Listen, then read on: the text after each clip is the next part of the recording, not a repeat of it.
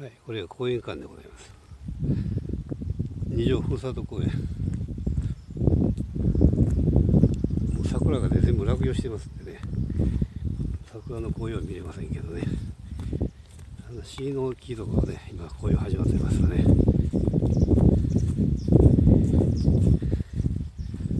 ほんで、ここには、イチョウの木見見当たらんか。見当たりませんイチョウの木が。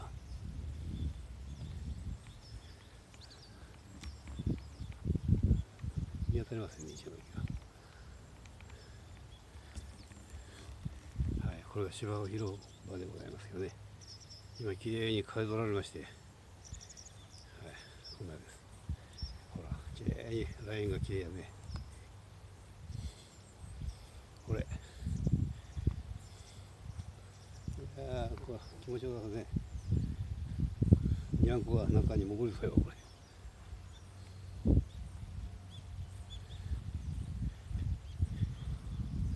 まあこんなね芝生の方のねいっぱい山になってます山盛り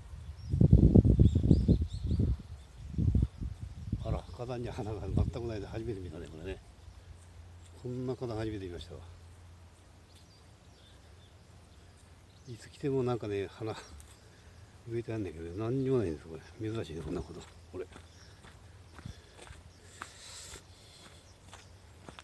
何にも植えてないんだこれ。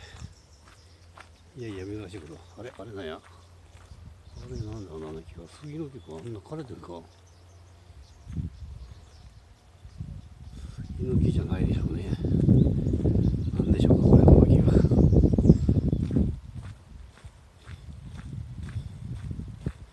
ちょっと分かりにくいねこのあんま色は。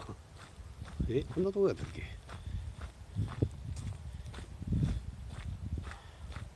えなんもないけど。ああありましたありました。ここ。あら。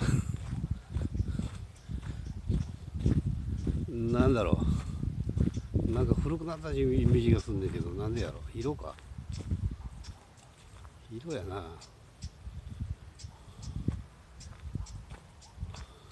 もう時計もあんねやアスレチックができるようになってあと何があんの？ブランコとかはないか。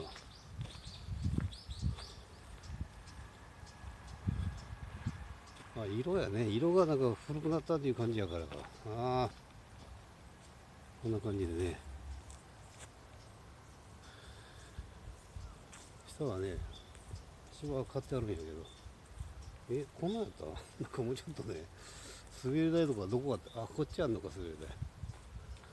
こっちあるんやね。あといろんなもんなんか乗るもんあったはずやけどね。わし勘違いか？あのあれないね。滑り台。ブランコは？ブランコもともとなかったんかな？まあいい加減なあれやね。記憶やね。ロープで上がれるけど。これ。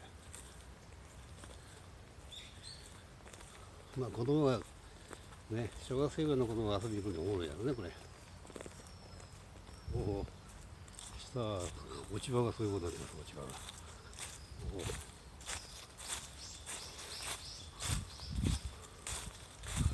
お落ち葉がそういうことになってます落ち葉が気持ちいいね落ち葉の上歩くのもね。逆光やこ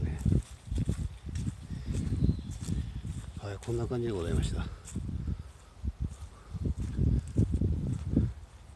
以前ね去年やったかな。去年このちびっこ広場撮ってほしい言うてねなんか投稿があったんで撮りしたことあるんですよ。あだからね。その時撮ったんやけどこんなやつなのかね。なんか色がちょっと思ったよりも違うんだけどね。こんな色やったんやろか。どこでもカラフルに塗ってあるんだけどね。どこ行ってもね。はいこんなんでした。